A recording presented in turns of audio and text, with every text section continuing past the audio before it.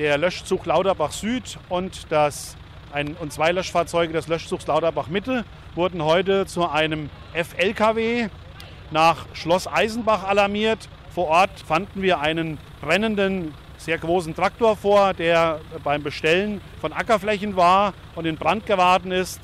Wir haben das dann sofort die Brandbekämpfung aufgenommen und den Traktor halt innerhalb von kurzer Zeit auch gelöscht. Momentan sind wir noch mit Nachlöscharbeiten beschäftigt. Im Einsatz war der Löschzug Lauterbach Süd mit 18 Einsatzkräften und der Löschzug Lauterbach Mitte mit äh, 12 Einsatzkräften. Sind denn Betriebsstoffe ausgelaufen? Es sind geringe Betriebsstoffe ausgelaufen. Die Restmengen, die momentan sich noch im Traktor befinden, werden jetzt fachgerecht noch abgepumpt, um sagen wir, mal, ein weiteres Auslaufen zu verhindern. Fast zum Schluss hat es mal eine große Stichflamme gegeben. Wie kommt das zustande? Die Stichflamme kam kurzzeitig. Anscheinend ist der Tank geborsten in dem Moment und äh, dadurch ist es zu einer kurzen Stichflamme gekommen, die wir aber schnell wieder abgelöscht haben. Verletzt wurde niemand?